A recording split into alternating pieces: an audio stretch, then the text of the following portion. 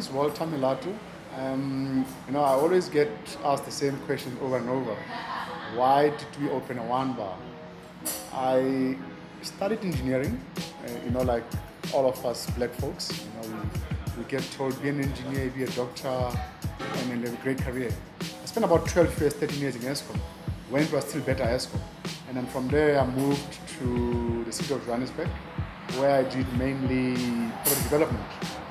But my passion for vino started quite late in my life, most probably quite early in most people's careers, where I became a member of a wine society where I was getting 12 bottles of wine every month and I was also married quite at an early age.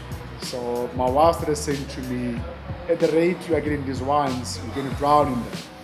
And I've always had a passion to open up a place where people can sit down and have good food and good wine. And that's where the whole concept started. Most of our 10 years. When we started, I always had a dream that I'll open a 10-seater restaurant where I can only entertain four people at a time with good wine and great food. And that's, that's, that's mainly where the whole concept of opening a wine bar started. One of the things we try to do, or not try, but one of the things we want to do is at Le Wine Chambre's, we don't necessarily sell wine. We actually offer an experience of how to drink wine. And I mean, you know, marketers always have very interesting cliches about the coolest wine bar, the wine to be seen at, or the most trendy. I don't, I don't think that's what, that's what we're all about. We, we're all about come to a place where you can become yourself, come and have a good, decent glass of wine, and most importantly, not only wine, but what you drink your wine out of.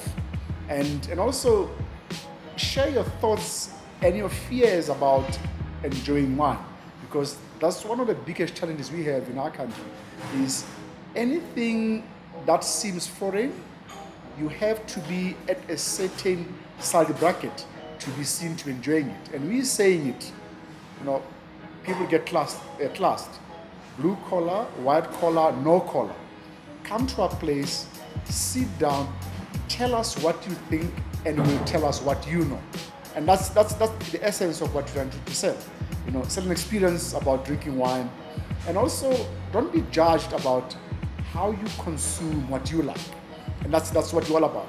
The place is very small. It's only a 60 seater but we're more than happy to host even two people at any given day.